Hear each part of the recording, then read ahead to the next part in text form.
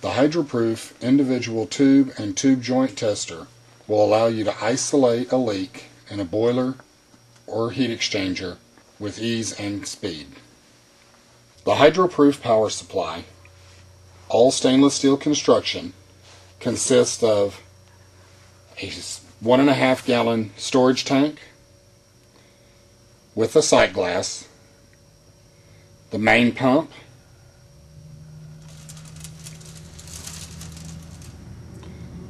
the output pressure gauge,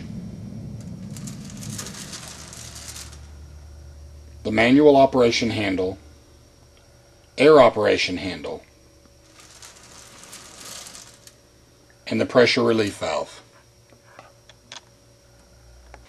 The HydroProof tube joint tester allows you to seal on the face of the tube sheet and the ID of the tube. Injection of water inside of the gap pressurizes the tube joint to test the joint.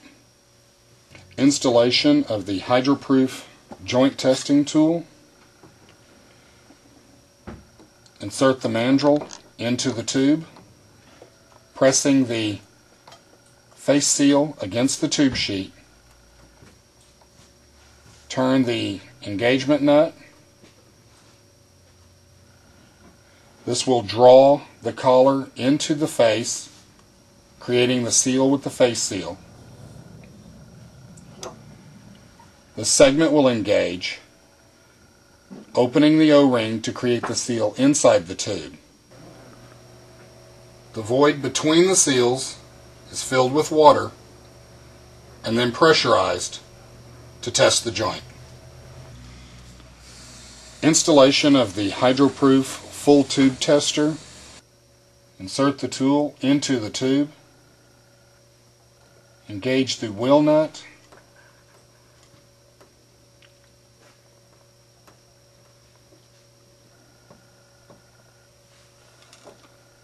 The segment will expand, locking the tool into the tube, engaging the O-ring seal, which will allow pressurization of the entire tube between the seals. Once the full tube testing fixtures are in place, the water is injected to fill the tube completely with water.